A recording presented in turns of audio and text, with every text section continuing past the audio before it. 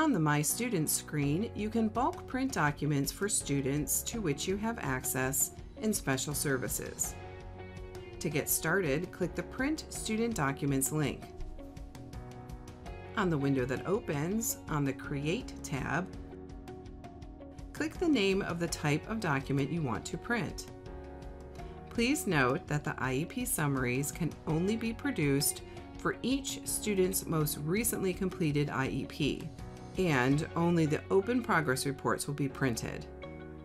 Click Students. In the search field, enter a student ID or two or more letters of a student's first or last name to locate a student that you would like to print a document for. When the results display, select the student or students you'd like by clicking the plus icon. In the Student Documents to Print grid, each student you selected displays. You can remove a student by clicking the X icon. If you select the checkbox for caseload only, only the students on your caseload display in the search results. If you do not select this checkbox, you will be able to search for all the students you have access to in special services. These may be students that you provide a service to, but they may not necessarily be on your caseload. Once you are done selecting all of your students, click Create. The History tab displays with the document type, document count, date created, and progress of all the current and past print jobs.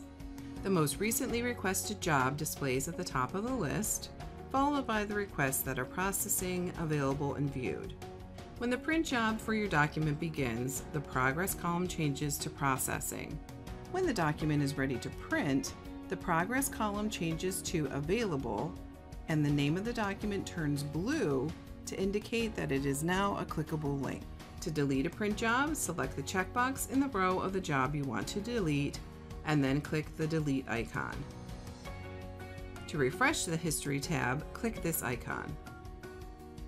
While the print job is processing, you can click Close to return to the My Students screen. When your document is ready to print, beside Print Student Documents, an indicator displays the number of documents available. Click it to open the History tab of the Print Student Documents window. On the Print Student Documents window, click the name of the document you'd like to print. The Print Preview window opens click Print.